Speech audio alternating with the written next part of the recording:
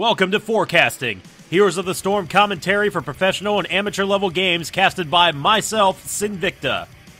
Let's head into the storm. Hello, everybody, and welcome to game number three here in Forecasting, coming at you live on twitch.tv slash Sinvicta. We are going to be on the Dragonshire for game number three of the pilot episode of Forecasting Live. Again, I do want to thank everyone who's been tuning in. For those of you watching live, yes, indeed, that is the intro for YouTube that you are seeing because I'm going to be uploading these and posting them onto YouTube, chopped up by individual games to make sure that it's just easier for the players who find who played in. Let's, let's say that you were playing in game two. You don't want to scrub through or look for annotations or timestamps or anything like that. All you got to do is check down the list, uh, check down my list on my YouTube channel for the Forecasting Live playlist, and that will take you straight to every single episode of Forecasting Live. Again, this is going to be happening every single Friday beginning at 7 p.m. Central, 8 p.m. Eastern, and 5 p.m. Pacific Standard Time. Also, if you are interested in trying to get in on the show, it is not subscriber, it is not subscriber, uh, only here on Twitch on Twitch TV. It is for everyone who is in the Heroes of the Storm beta. You don't have to be eligible for rank mode. You do not have to be even good at the game. All you have to do is follow the on-screen instructions down below on the bottom left-hand side in that little image that you see. It's going to fade every now and then, every 10 seconds, to show you on how you can join the channel and join the games potentially. Now, again, as we get ready to go for game three, a couple things to keep in mind. Please, number one, make sure that your social tab is configured correctly. Make sure that you are able to get votes from people who are not on your friends list. Because A, it's not always going to be me doing the invites, and B, you just simply won't be getting invites because we are most likely not on your friends list. So please, please, please keep that in mind as we hop into the brand new show here on my Twitch channel. I'm, I'm very, very excited to get back into the live show. I've been having a great time commentating Heroes of the Storm, Hers of the Sturm.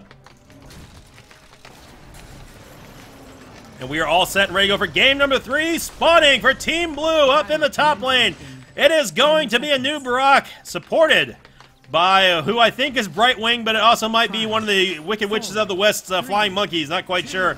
In the middle lane It's going to be Uncle Chen, crazy Uncle Chen for Team Blue. In the bottom lane for Team Blue, Raynor and Zagara. Spawning for Team Red in the bottom lane, it's going to be Tassadar. Supporting Valla in the mid is going to be the Mountain King himself, Muradin. In the top lane, the other half of the two versus two, Kerrigan and Tyrone for Team Red. Now, again, we are on the Dragonshire. Everybody knows this map. Everybody loves this map. I used to hate it. Now I love it. It's one of my favorite maps to play because of so much force fighting that goes on with the map objectives and the spawning of the shrines. You can see a lot of shrine juggling back and forth. And unlike the Curse of the Raven Lord map, they are hard. They're set hard on a hard timer. Uh, when they spawn here, you see it again. Chen and Muradin duking it, squaring off in the middle lane. That's going to be the world's most boring fight, I think. It's going to be no damage versus stuns, so take your pick on that. Twitch chat casting their votes to see which team they want to they want to see win. It was team it was Team Red evening up the series one to one in that last game. And again, it's a friendly series. It's not like the team stayed the same. It's just red versus blue. Everyone knows that classic, the old classic adage for rivalries, that sort of thing. You see Impale now being used on Anub'arak. You see Impaling Spikes as well coming out from Anub'arak. He's going to deep tunnel his way over into the Shrine, taking a lot of damage from Kerrigan as well. Brightwing trying to do the best what he can, or what she can to save Anub'arak. Here comes Verdon leaping in over the uh, brush line, and actually that is going to be able to, Anub'arak still alive. Brightwing is now in a little bit of trouble. Anub'arak able to escape. The toughness of the Scourge showing you out right there. Not really, not really the Scourge. I take that back. It's more, it's more like the Underworld of Azjol-Nerub. I'm still waiting for Anub'arak to say, say instead of saying for the Frozen Throne, to say for the for Azjol-Nerub and running it million times over and wow. Bottom lane, the Moon Shrine controlled by Team Blue right now. Sunshrine being hotly contested, but Team Red does currently hold the cap on it.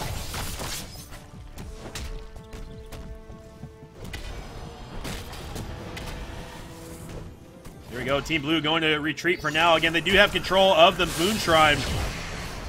Tassadar not going to be able to contest it against the might of Jimmy and Zagara. Zagara with a master skin, looking very good indeed. In a way, she kind of looks like Diablo. If you if you look at her if you look at her from afar, the master skin and that color of a Zagara looks like Diablo. Valla now being chased down by Banelings, and she's forced to retreat on out of there again. Blue still has control of the Moon Shrine. The Sun Shrine still controlled by Red. Team Blue not really getting. I'm not sure uh, if I'm not sure Chen. I don't think I don't think Crazy Uncle Chen is uh, really caring about map objectives. He's going to keep pushing that middle lane. Healing Ward, nice job being taken out there by the Zagara player. Psystorm going to be missing the mark as well. All eyes going to be on the top on the top lane, and there you go. It's actually going to be the red team's Kerrigan who was taken out by Brightwing and Anub'arak of all people. And crazy Uncle Chen just going to sit here soaking the middle XP. I mean, I suppose that's a that's a valid that's a valid uh, a valid tactic, but I would prefer to see him be fighting right now. But the combination of Brightwing and Anub'arak in the top lane makes it very difficult for them to be killed anytime soon. Woo, even my camera didn't want to look at that. So there we go. Uncle Chen went back to go tap the fountain now. They do have control of the Dragon Shrine, but he's not going to be able to survive against Kerrigan. Kerrigan using Impale. One more Ravage could be it. Oh, the Polymorph. Oh, he was envenomed. I think he was envenomed by Kerrigan. I have to check really fast. Uh, yeah, Envenom was taken by Kerrigan, so Envenom able to push it over the line. Kerrigan getting a revenge kill for her team. Brightwing going to be in a lot of trouble being impaled by Kerrigan as well, but here comes the Lovers Quarrel, the other half of the Lovers, as Jimmy going after Kerrigan as well. She's trying to use Impale to get away from Jimmy. Jimmy's going to put her down, and Jimmy Raynor saving the day. Brightwing still alive. Team Blue now in control of the Dragon Shrine. Sunshrine was recapped by Murden and Tyrone up here in the top lane. Just in the nick of time because Jimmy was ready to cap it. And here we go again. Crazy Uncle Chen and Brightwing talk about your lack of damage indeed. Versus Tyrone and Muradin. Polymorph. does he turn does she turn him into a monkey? I've never actually seen Polymorph. Alright, I guess I never really paid attention. Tassadar was taken out in the bottom lane. Team Blue looking like they want to wrestle control away from the Sunshrine from Team Red. They were able to do that, but Kerrigan was able to take down uh, or uh, Tassadar was was killed by somebody in the bottom lane, presumably just Zagara. Kerrigan is down here now, controlling the Sunshrine for the time being. Kerrigan versus Zagara. No love lost between these two individuals. They had the rivalry in the Heart of the Swarm campaign as well. I think we all know how that one ended, though. Up here in the top lane, again, Blue does take control of the Sunshrine, but all eyes are going to be on the Moonshrine Will Blue have enough damage to take it away from Team Red? I don't know. There's a flying kick coming in from Chen. Chen actually doing a surprise amount of damage to Kerrigan. Kerrigan in a lot of trouble. One more basic attack. Kerrigan goes down. Valla is in a lot of trouble as well. And Team Blue is going to take control of both shrines. No, Team Red able to retake control of the Sun Shrine. And this is exactly what I was talking about. The juggling of the shrines, man. Happens all day, every day. Oh, the Baneling's wrecking Valla. I don't know if Valla was paying attention. But every single Baneling landed on the nose of Valla. That Demon Hunter is hunting demons in her sleep right now. As Blue really trying to take control of both shrines. It's difficult, however, because there's so much beef up here for Team Red. Here comes Kerrigan now, leaping on Anub'arak. A new Barak using Locust Swarm as well. There you see Healing Wing coming out from Brightwing. Brightwing is trying to get away from Murden. No stuns coming out from Murden either. Team Blue is ahead by three levels. They do have their heroic abilities as well. Nice Lunar Flare being used there by Tyrone. But the damage from the from the level discrepancy is just too much. Tyrande goes down. Kerrigan and Murden going to find themselves sectioned off and trapped here by Team Blue. Kerrigan's going to go down to Jimmy Raynor. Raynor absolutely raking in the kills. Murden in a lot of trouble. He's going to try to dwarf toss his way out. He was able to do so right into the healing ward. Nice job there by the Tassadar player. But Team Blue does control both shrines, but they do not have control of the middle lane for the time being. But up by three levels, they still have their heroic abilities. It's going to be difficult for Team Red to try to turn this one around, I'd have to say. Twitch chat exploding into the Baneling song lyrics from Husky and Kirk. It would been easier if I just say nerd alert there. Ball is going to get taken out there by Zagara yet again, doing a lot of damage on Murden as well. Kerrigan hopping into a three versus one. Raiders, Raiders are out. Zagara going for the cap. Briefly stopped by Kerrigan, but that's not going to be enough. And here we go. Zagara going to get the first cap for Team Blue. And the dragon is up and roaring, and he is not happy.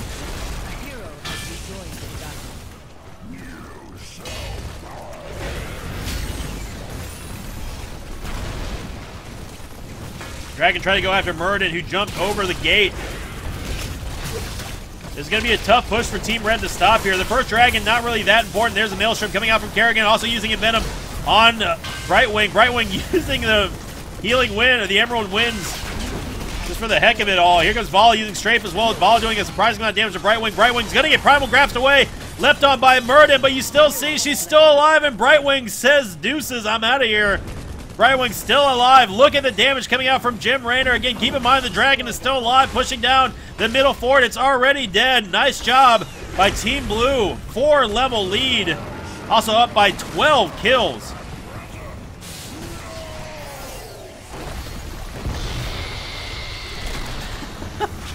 That maul being used there just because, I guess. I, I guess when you're up by you when you're up by four levels, it doesn't really matter. You don't have to be totally accurate with your mauls if you're up by four levels. Nubarak solo pushing on the top lane. Crazy Uncle Chen solo pushing the bottom lane, but that was going to get uh, pushed back by Tyrone and Valla. Zagara did look like she wanted to make a play for the knight camp on Team Red side of the jungle. It did not happen. Nice job by Nubrock. Here you see Locust Swarm coming out with the Leeching Scarabs as well. Trying to stay alive. Brightwing may not be able to save him. And Nubarak is finally going to get taken out, maybe.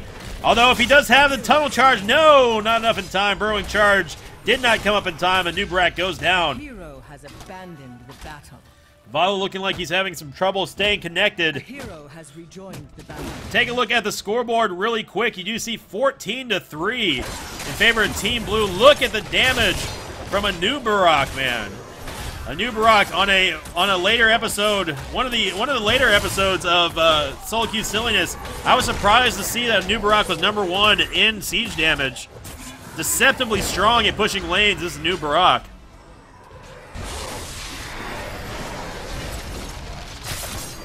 But again, here's the storm. It's never give up, never surrender. Always keep fighting. Always keep fighting, and here's the storm. One good team fight can bring you back from the brink of extinction into the promised land of being ahead in... Here's the storm. Red's going to try to hold control of the Sun Shrine. They have nobody in the bottom lane for the Moon Shrine, however. Again, Team Blue was able to take down those Ogres as well. You did hear Bribe going out there. I believe that was Bribe being used by Zagara.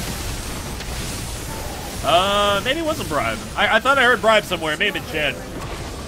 Haymaker used on Jimmy, but look how much he heals. And there's the Maul coming in, saving Jimmy. Zagara saving Raynor.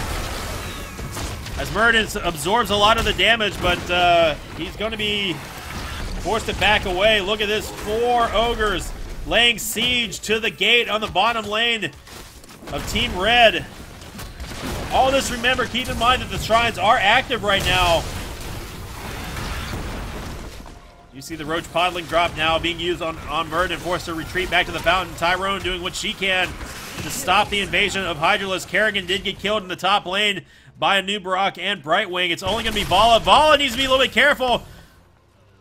I don't know if Valla's going to be able to escape. Nice tunnel charge there by new Barak, and Valla is going to go down. Team Blue up by three levels at the 11-minute mark.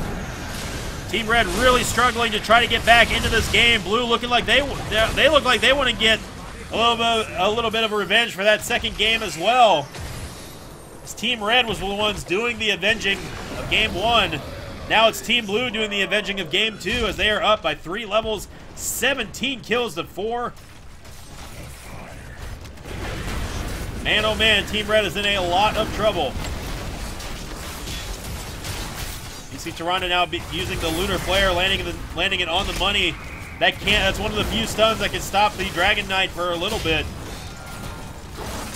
You see second wind there, the passive of Murden being activated as he was out of combat. But again, Team Red is going to be in a lot of trouble. Here comes Valla now strafing on in. Chen's very, very low. Very, very low. Rewind being used there by Murden, trying to get through the shield. There's the Maul. The Maul being used. Valla is inside the Maul right now. Tyrone's going to go down. They did lose Chen after all.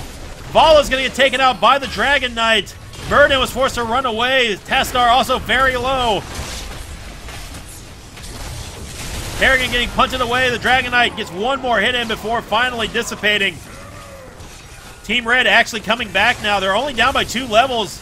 Maelstrom being used because hell, why not? Brightwing is in the middle of the Maelstrom. But here come the Banelings. Here comes Raiders. Raiders as well as the other part of the creep wave. Kerrigan's going to go down immediately. Power play in favor of Team Blue. Four versus two, four versus one right now. And what can Tassadar really do to stop this base from getting absolutely gutted by Team Blue? I'm not sure. If, if, Team Red had any tricks up their sleeve, now's the time to start utilizing them because they're in a lot of trouble. Archon being used by Tassadar as well. Double Storm being activated. Tassadar runs through the through the Storm. Doesn't actually hurt him, but he dies for his trouble. Raynor is going to get taken out by Valla finally. Team Red trying desperately to hold on and get back into the XP gain. Now down by two levels. Valla chasing chasing Zagara. I don't know how smart this is, although, to be fair, Zagara does not have any mana. Nice job by Valla there, chasing Zagara away. Having the foresight to know that Zagara actually didn't have that much mana. She already used her her uh, heroic ability. So Valla knew that was a safe bet. But again, you do have to be careful with the two level discrepancy. Levels are levels make the world a difference in Heroes of the Storm when you talk about team fights.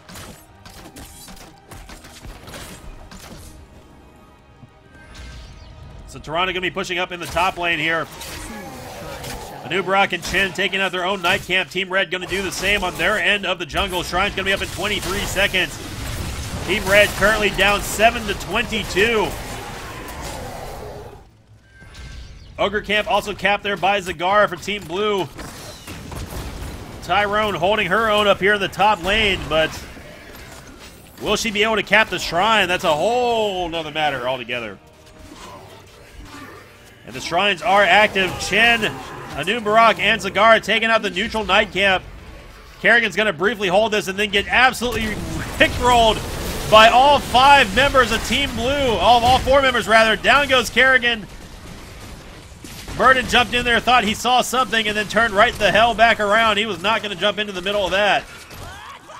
Kerrigan gets destroyed immediately, pounced on by four members of Team Blue. Brightwing, Brightwing with a monkey on her back.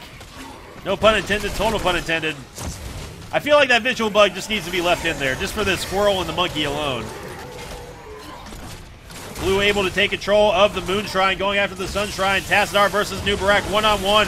Nubarak just completely ignoring Tassadar's damage. I don't blame him. Here comes Archon. Burrow charge being used by Nubarak as well. Tassadar doing what he can to try to hold the keep. The keep is out of ammo. It will not shoot anymore. Here comes Chen using flying kick right on Tassadar's face, forcing him to back away. Tassadar shifting out of there, and they are going to lose the bottom keep. Up here at the Sun Shrine, Jimmy very, very hurt, but Brightwing is here. Zagar is here as well, and will they be able to take him out? I don't think so. Down goes Valla. It's only Muradin. Muradin fighting all three of them, and that's not going to happen. Muradin forced to run away. Team Red in so much trouble if they lose this Dragon Shrine again. Red doing what they can to try to hold on for dear life. They're only down by almost one level now. Will that be enough? You see Muradin's second win. Actually, Muradin may have gone for... No, he can't. Did he get third win? Hold that thought. Kerrigan is now back, fighting in the middle as well. Muradin is going to get killed by Zagar. It's only Kerrigan fighting one versus three. The Queen of Blades trying to stand up to her lieutenant. Didn't happen. Talk about role reversal. Again, Anub'arak doing a great job pushing all the keeps Anub'arak going to finish off the top keep, and they are going to have a naked core exposed for the Dragon Knight, who's going to be plowing right down the middle lane. Chex Mixer doing a great job playing as the Anub'arak. And down it goes. Chex Mixer is actually going to stay alive here thanks to the Legion Swarm by the Logia Swarm. Red doing what they can to try to stay in this game, but I really don't think that this is going to happen. Tyrone's going to get taken out by the Fire Breath from Uncle Chen and Team Blue taking the lead in the series again, 2 to 1. Solid game by Team Blue.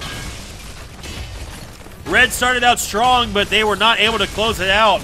And that is going to be that final total 21 levels to 19, 30 kills to 7. Team Blue rocking and rolling on the back of Anub'arak, 133,000 siege damage. Fantastic game played by both teams with Team Blue just a little bit better. When we come back, we're going to do one more game before my voice gives out and close it out for the evening here on Forecasting Live. Thank you for tuning in, everyone. For those of you who are watching live, make sure you stick around in the live chat because my moderators will be teaching, will be not teaching you, but they'll be telling you. They might be teaching you. I don't know. My moderators are way smarter than I am. Uh, telling you how to get involved in the show And again, welcome out to Forecasting Live, the show that's going to be happening every Friday evening starting at 7 p.m. Central, 8 p.m. Eastern, and 5 p.m. Pacific Standard Time. We come back, we've got one more game coming at you live on Forecasting Live here on twitch.tv slash Sinvicta. Don't go anywhere. Be back in a bit.